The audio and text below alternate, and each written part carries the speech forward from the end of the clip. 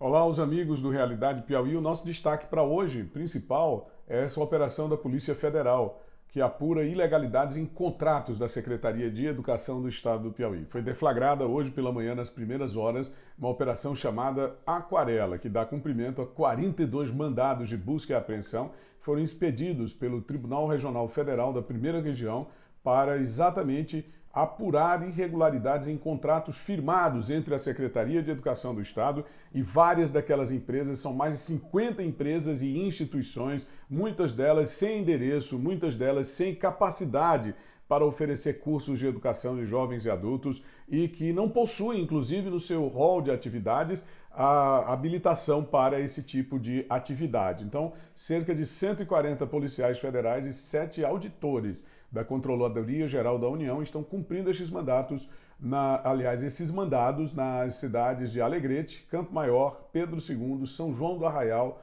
Teresina e Valença, aqui no estado do Piauí, mas também Timon, no Maranhão.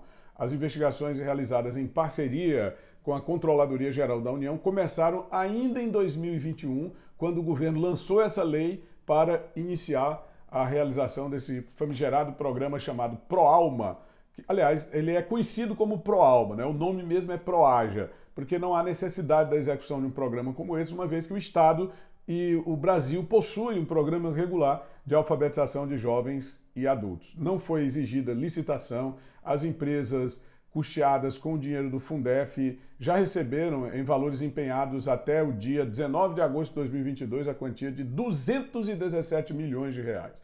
Infelizmente, grande parte dessas operações termina não resultando em absolutamente nada. Basta ver o que aconteceu no caso da operação Topic, não é? Quando a, a, Polícia Federal foi na Secretaria de Educação, identificou irregularidades em contratos de transporte escolar e apontou várias pessoas. Teve um caso escabroso de um elemento que sozinho pagou uma fiança de um milhão e meio de reais. Quem é que tem um milhão de, de reais para pagar uma fiança, um milhão e meio de reais? Então, Piauí realmente precisa ser passado a limpo. Agora, operações como essa, só por enquanto, estão dando muito trabalho à Polícia Federal e à Controladoria Geral da União e rendendo manchetes de jornais, os jornais independentes, porque os jornais que são controlados pelo governo do PT, que pratica as irregularidades e os atos de corrupção, terminam corroborando versões oficiais e publicando matérias do tipo: a autoridade nega a ocorrência de irregularidades no programa. Todos nós sabemos que o PROAJA foi criado com uma finalidade específica: aliciamento de eleitores no período pré-eleitoral.